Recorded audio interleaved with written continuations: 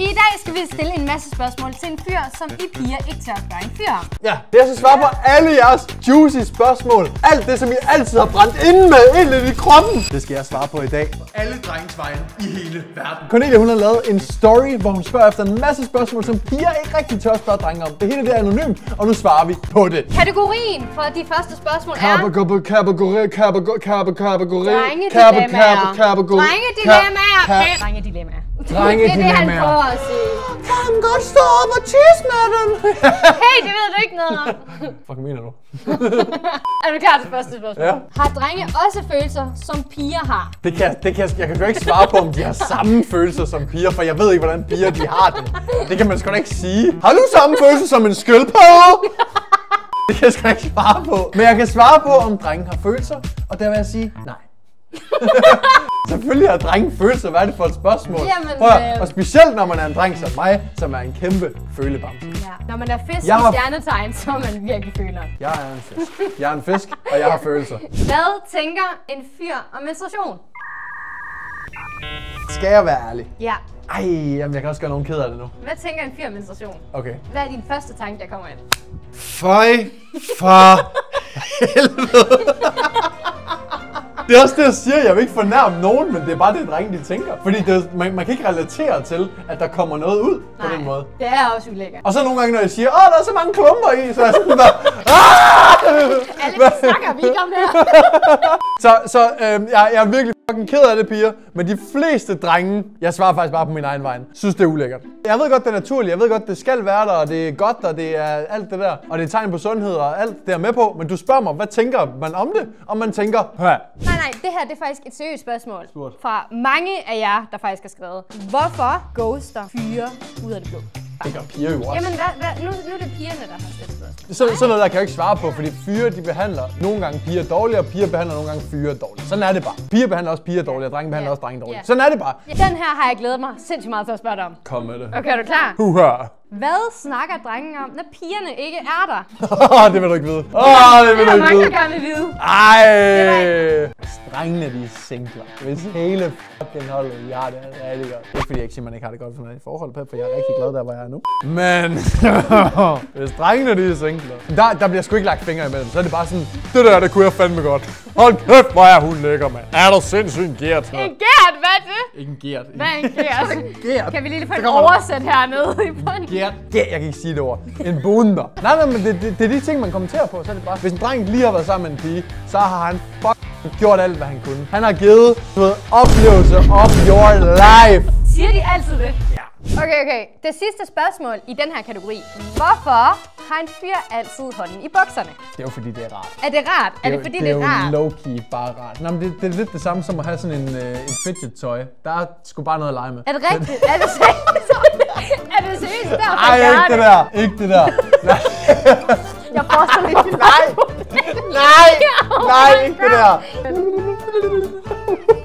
Ikke det. Nej, Pep, det, det er bare fordi, det er varmt. Er det derfor? Det, det er sgu trygt. Du siger det, som om jeg sidder sådan hele tiden. Er, det- er det ikke et generelt spørgsmål? Jo, det er... Det tror jeg sgu alle knejder, de sidder. Jeg synes faktisk ikke, du gør det særlig meget. Ja, men jeg har Det er, også da, godt det er set det. sygt tit, jeg ser dig lige klø. Hold kæft, du klør. Jeg vil godt godt det. Hold kæft, du klør. Jeg vil... Næste kategori. Pinlige problemer. Nu kommer der sådan en, og jeg ved ikke, hvorfor der var så mange, der spurgte, men hvordan tørrer en fyr sig, når de har tisset? og det var der, der var så mange, der havde spurgt. Okay, okay. Prøv, jeg spurgte Alec om noget her forleden. Og jeg spurgte Alec, hænger tissemanden egentlig ned i toilettet, når I skider? Det, det, blev, Og jeg havde ikke lyst til at få svar det, det blev du meget chokeret over. Ja, jeg troede, jeg ved ikke, jeg troede, man holdt den eller lagde den på brættet. Ligger den bare der? jeg troede, den kunne komme ud så. Klar til at blive skåret på skærebræt. du Jeg troede bare, den skulle ud. Den hænger bare ud over. Hvad så, hvis man skal tisse, mens man lige... Okay. Nogen tager toiletpapir og dupper den. Andre. Nu, nu, nu skal du tænke på, hvis fyre de pisser ved et pissoir. Det er der, hvor du kan stå op, så slynger du den ud, tisser, færdig, videre. Ja. Der er ikke toiletpapir. Nej, så der drøber de i bukserne. Nej, og, og nej, ned i bukserne. nej, man giver den ordentligt. Er det rigtigt? Er det helikopter? Nej, man gør ikke. Nå. Men man dupper den lige. Du ved lige. Ah, Slasker den i toilettet.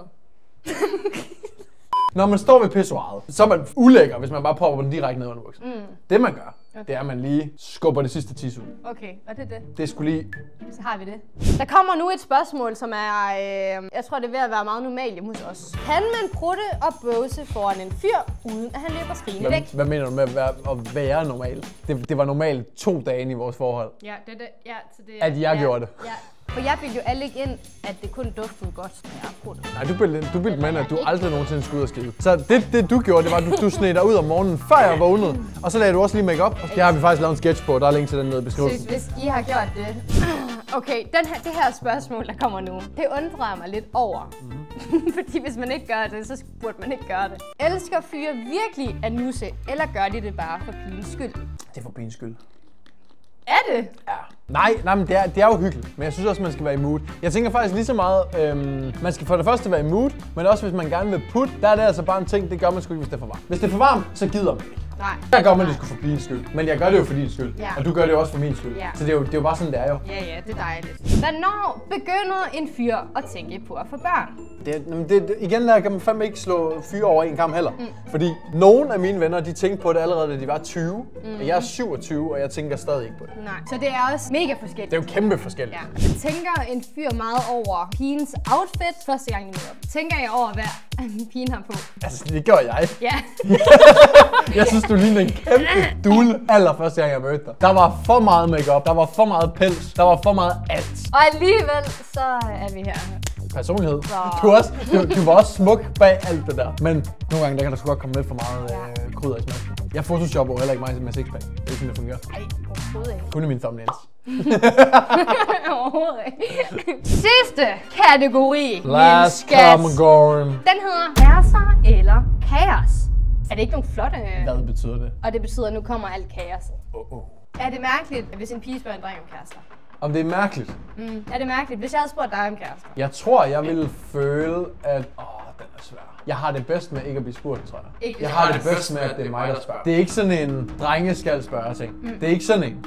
Personligt vil jeg bare helst selv spørge. Men det er fordi, jeg er kontrolfreak og bestemmer, hvornår ting de skal ske. Men Så- om det er mærkeligt, det synes jeg ikke. Nej. Så fik I det. Det gør man bare. Ja.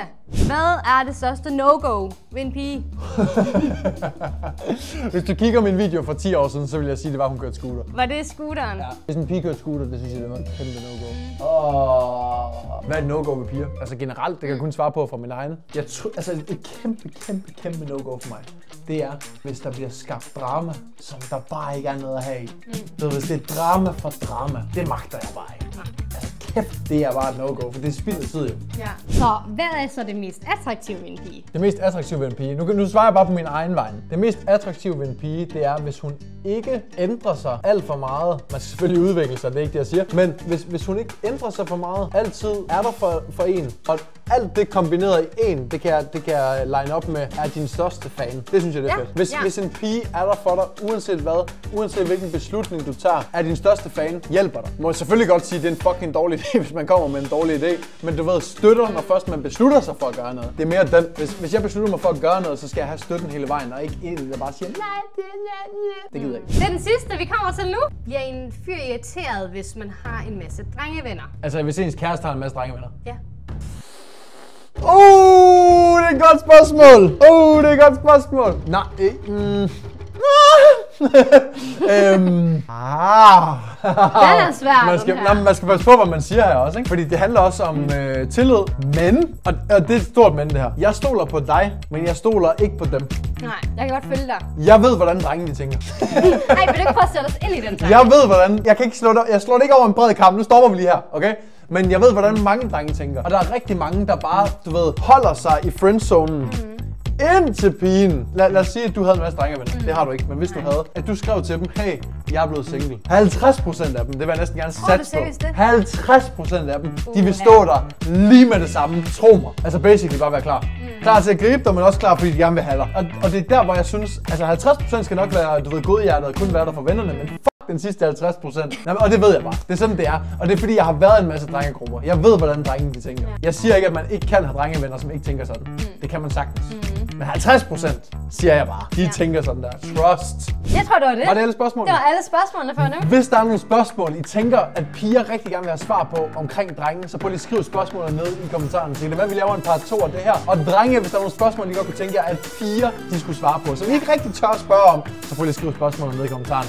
Så kan det være, at vi får Cornelia til at svare på det i næste video. Tryk på subscribe og bliv en del af Alex og Nelly familien, og så ses vi bare næste uge på søndag kl. 10. Hey! Hey! Vamos!